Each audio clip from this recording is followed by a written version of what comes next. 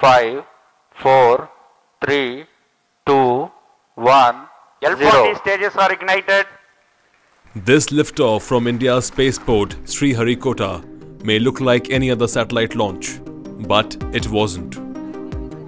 It was the Indian Space Research Organization or ISRO's 100th mission and the first launch this year in which a navigation satellite NVS-02 lifted off from the Satish Dhawan Space Center about 6:23 am. This is the latest step in India's efforts to expand its navigation with Indian Constellation or NAVIC system.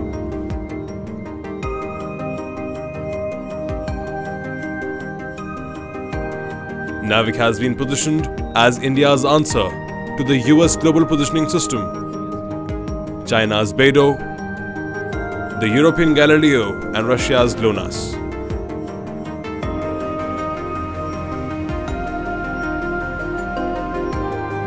And this launch was the first under the new ISRO chairman, jubilation V. and Narayanan. With the success of 100 launch The first launch of this year, 2025, has been successfully accomplished with GSLV F-15 launch vehicle precisely injecting the navigation satellite NVS-02 in the required intended orbit.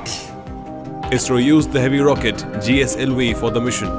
Out of 16 launches so far, there have been 6 failures for this rocket. Till now, ISRO has put nearly 550 satellites in orbit, the bulk of them from foreign countries.